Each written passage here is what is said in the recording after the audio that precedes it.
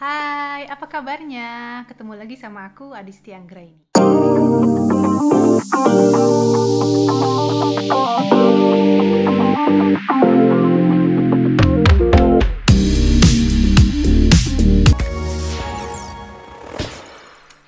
Ya, kali ini aku seperti yang sudah pernah aku janjikan waktu itu, aku mau cerita lanjutan lagi mengenai pengalaman kerjaku selama jadi pramugari Emirates.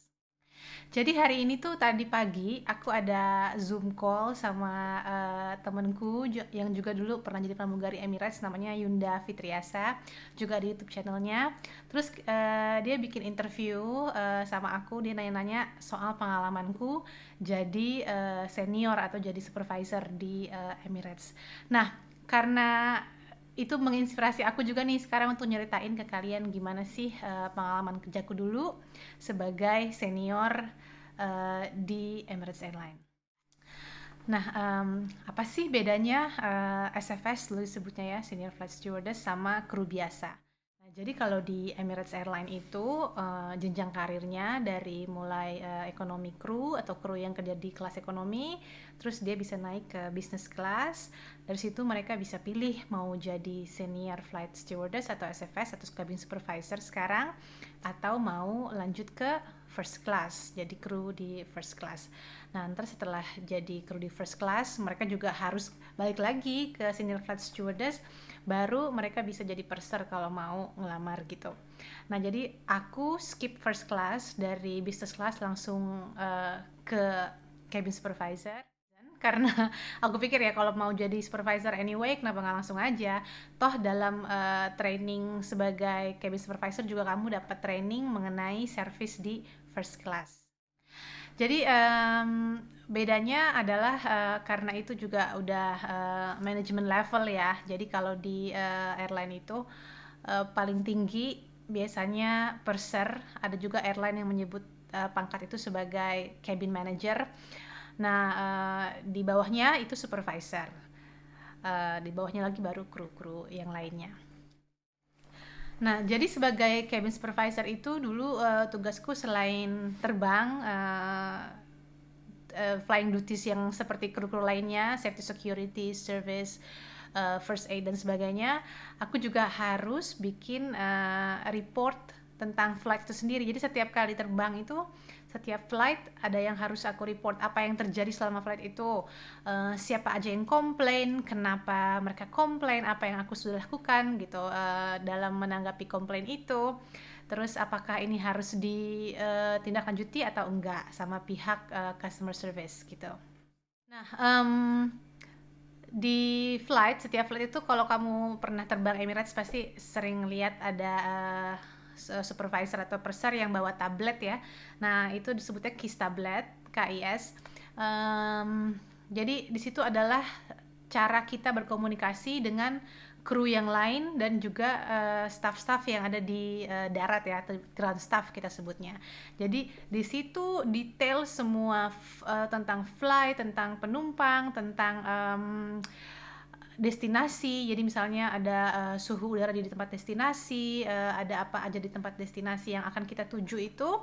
Nah, semuanya ada di kis tablet itu. Nah, jadi misalnya ada yang terbang nih, kamu misalnya jadi penumpang.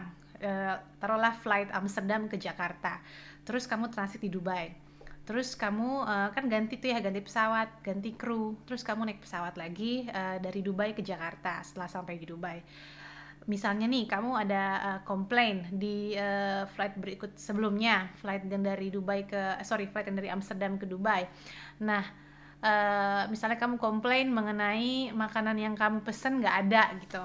Terus nanti ketika kamu di flight dari Dubai ke Jakarta tiba-tiba ada kru yang approach kamu terus tanya um, gimana tadi flightnya misalnya gitu ya. Tapi nggak akan secara spesifik nanya uh, komplain kamu gitu.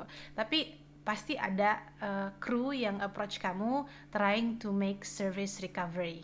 Artinya adalah kalau ada uh, komplain yang sudah um, sangat amat misalnya uh, parah gitu ya. Misalnya kamu vegetarian terus kamu pesen vegetarian food tapi for some reason itu uh, nggak ada nggak sampai di catering atau ada miskomunikasi nggak sampai ke pesawat kamu nggak bisa makan misalnya gitu.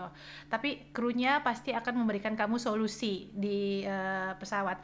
Namun setelah kamu membuat komplain seperti itu tentu saja uh, karena ini memang airline yang bagus banget ya jadi kita sangat amat dilatih untuk um, bisa memberikan sesuatu yang lebih kepada customer. Bukan hanya uh, jadi nol tapi jadinya plus malah. Yang tadinya kamu mau komplain minus one jadinya uh, Indian uh, flight experience kamu jadinya plus two misalnya gitu. Nah itu yang mau di di, uh, di deliver sama airline ini. Jadi uh, karena itu di case tablet yang tadi aku bilang itu di situ semua diceritain apa yang terjadi di flight sebelumnya supaya di flight berikutnya itu bisa diperbaiki oleh kru yang baru ini.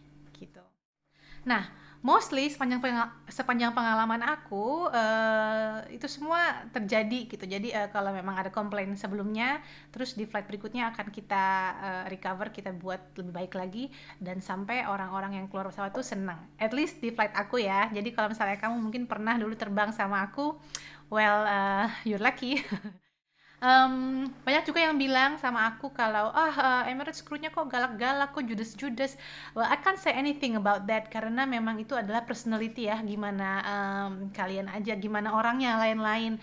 Dan itu kan juga merupakan uh, subjektif banget ya kalau pendapat tentang uh, mukanya nggak ramah atau senyumnya palsu lah. Itu kan hal yang kita nggak bisa ukur uh, black and white. Jadi betul-betul pengalaman pribadi aja. Tapi um, aku nih selama pengalamanku dulu jadi pramugari aku tuh memang senang ya karena uh, aku punya uh, passion tuh memang senang. Aku suka banget uh, membuat orang senang. Jadi um, I really like to help people. Apalagi sekarang aku jadi ibu gitu. Uh, dulu sebelum aku jadi ibu aku nggak ngerti gimana repotnya sih punya uh, anak bawa anak di pesawat. Tapi sekarang karena aku dulu pramugari dan sekarang jadi ibu aku langsung ngerasain oh my god memang repot ya bawa anak di pesawat itu. Jadi um, kadang-kadang kalau yang masih muda mungkin nggak ngerti ya. Jadinya mereka uh, kru-kru yang masih muda ini nggak ngerti. Kalau misalnya ada anak-anak di pesawat itu mereka jadi uh, malah stres karena penumpang lain komplain dan lain sebagainya krunya ikutan stres. Lagi aku bilang ya ini nggak semua tapi memang kalau ada beberapa orang seperti itu nggak cuma di airline yang aku dulu kerja aja di mana-mana kayaknya sama ya. Ada orang yang uh, ya kru juga manusia gitu loh. Kadang-kadang mereka ada uh, gak moodnya meskipun sebenarnya nggak boleh ditunjukin gitu. Oke balik ke pengalaman jadi senior um, dulu tuh aku harus dealing sama masalah-masalah uh, komplain-komplainan. Uh, komplain yang paling aneh dapat sering juga aku sering dapat komplain uh, aneh yang aku nggak bisa um, jawab gitu. Misalnya nih kayak gini um, hari ini uh, menunya apa? Gitu ya. Terus aku bilang uh, hari ini menunya ayam uh, goreng misalnya dan uh, pasta gitu. Kamu mau yang mana? Hah kemarin aku terbang di airline lain menunya lebih baik tuh. Begitu contohnya ya uh, and I was like um, what should I say? Aku nggak tahu harus bilang apa karena oke okay, itu kan memang airline yang lain ya tapi namanya juga penumpang. Mereka nggak tahu mereka pikir ya udah memang aku pengen ngomong gini aja. But sometimes you don't you don't even think how difficult it is for us to explain something that we don't have gitu. Kita uh, ini yang kita punya dan um, itu emang airline lain tapi uh, sorry ini yang kita punya gitu. Dan uh, aku akan over apa aja yang aku punya gitu yang ada di pesawat itu saat itu. Karena ini pesawat ya sekali lagi um, kadang orang lupa kalau lagi di pesawat itu mereka pesan makanan um, pesan aja gitu ya uh, aku mau makan A B C. Ini kita nggak punya kompor kita nggak bisa masak jadi makanan itu sudah di uh, dibekukan di gudang di catering tempat catering itu terus dibawa ke pesawat. Nah kita cuma angkatin aja sebenarnya ya karena uh, memang nggak bisa masak gitu. Kecuali uh, ada beberapa airline yang ada chef on board itu pun nggak yang masak from scratch bener-bener cuma dipanasin aja gitu.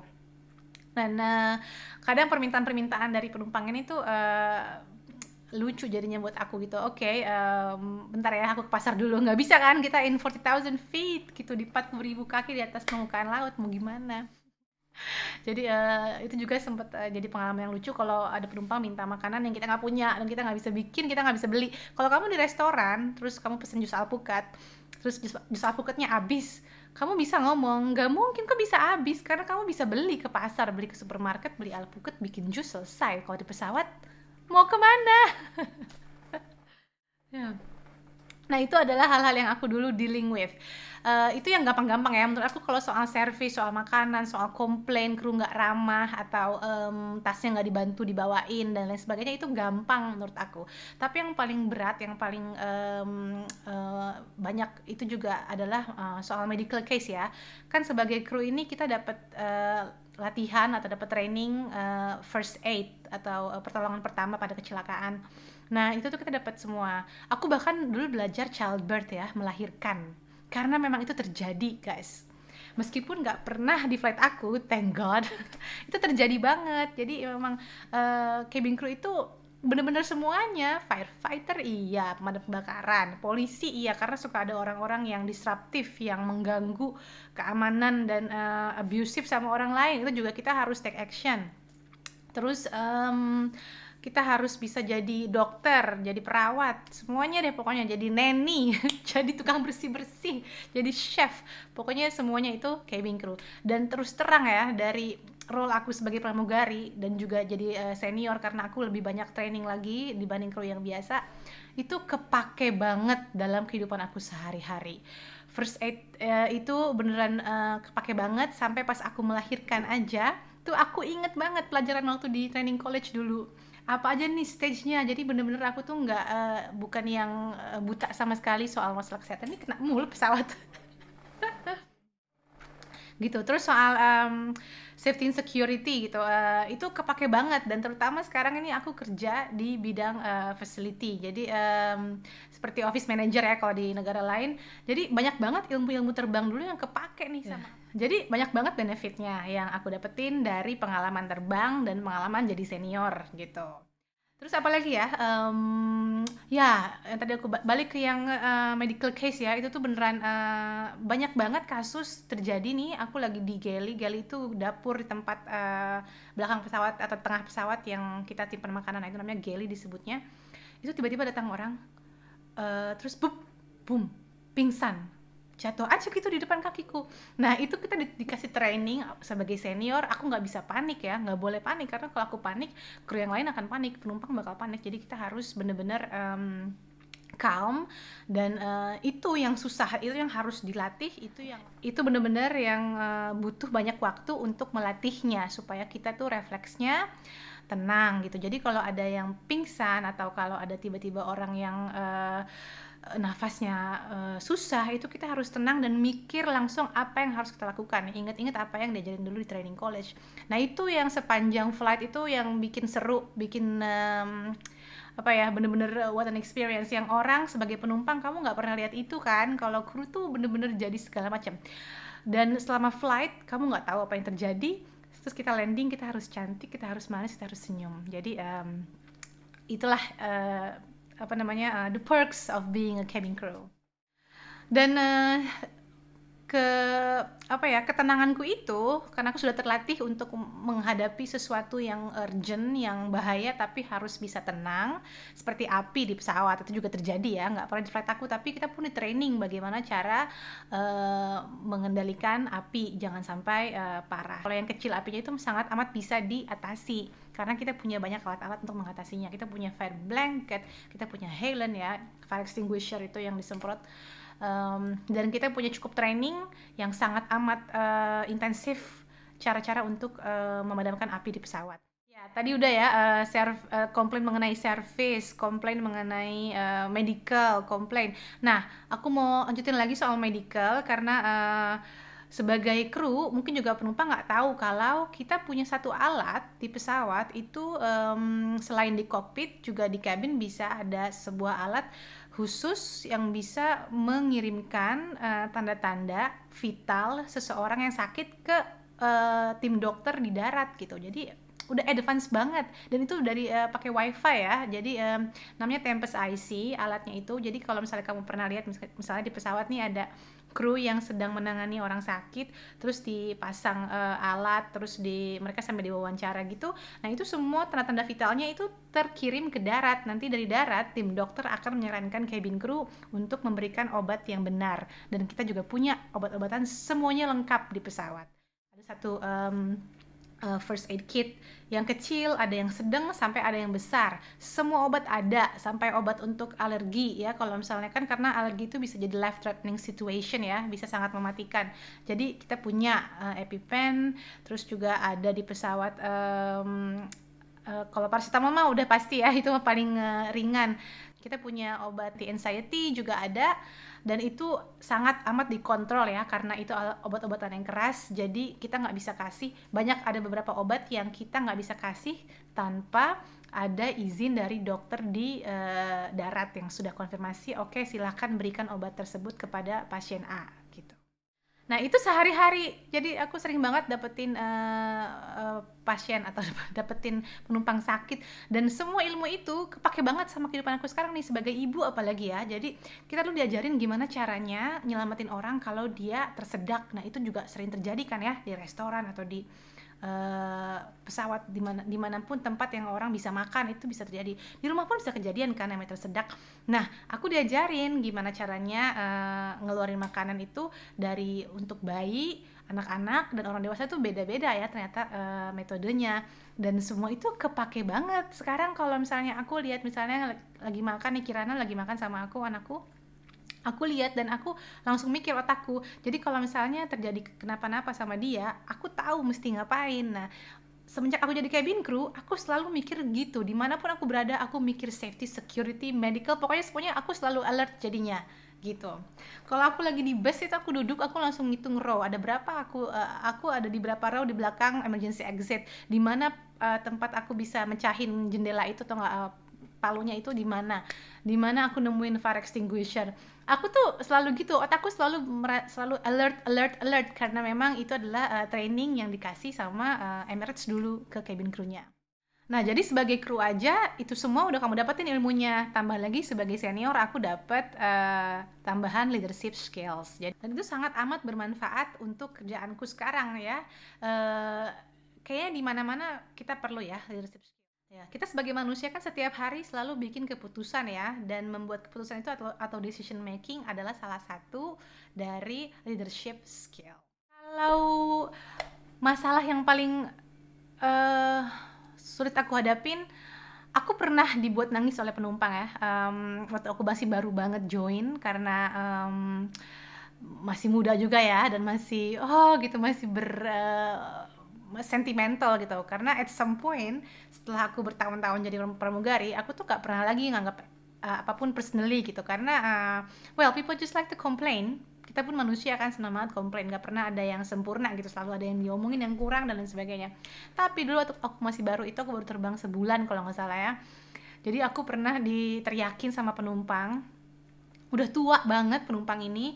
Dan uh, sepertinya itu dia sakit. Jadi kayak ada orang kan ya yang diabetes terus dia jadinya uh, agresif gitu. Nah sepertinya sih dia sakit. I don't know kenapa tapi aku nangis.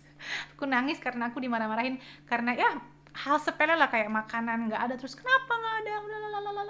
Nah ketika itu si seniorku saat itu supervisor supervisorku saat itu tarik aku terus dia bilang Adisti ke belakang take a deep breath udah. Jadi kalau ada masalah di pesawat sama penumpang itu nggak usah dipaksain kita harus uh, ngikutin gitu. Jadinya kamu ribut jadi berantem nggak worth it. Jadi kita dilatih untuk take a deep breath terus kamu ke belakang dulu mikir dulu biar kolik kolik yang lain take over sebentar gitu. Terus kamu mikir mau ngapain lagi nih sekarang? Kalau kalau kamu mau um, serang langsung ya kalau lagi emosi namanya lagi emosi itu keluarlah kata-kata yang salah terus jadinya uh, both kamu dan orangnya akan menjadi menyesal gitu. Jadi uh, again uh, lesson seperti ini yang aku dapetin dan aku masih pakai sekarang. Kalau misalnya aku lagi ngadepin sesuatu yang sulit gitu uh, aku jadi lebih tenang gitu. Aku jadi kayak oke okay, take it easy. Jadi nggak usah langsung uh, di diserang gitu. Kalau kamu diserang usah langsung serang balik. Kamu pikir dulu ngapain?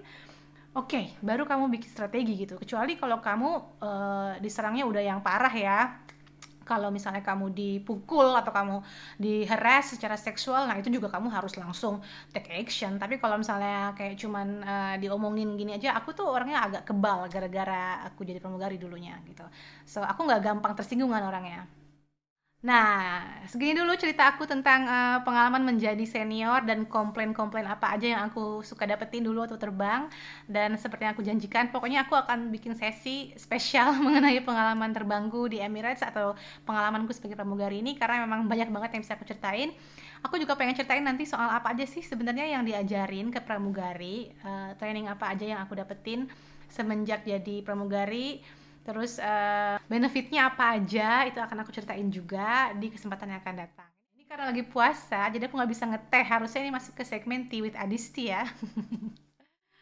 Oke, okay, um, sampai ketemu lagi di vlog berikutnya. Makasih udah nonton. Kalau kamu suka dan pengen denger terus cerita dari aku, silahkan subscribe dan like ya. Makasih.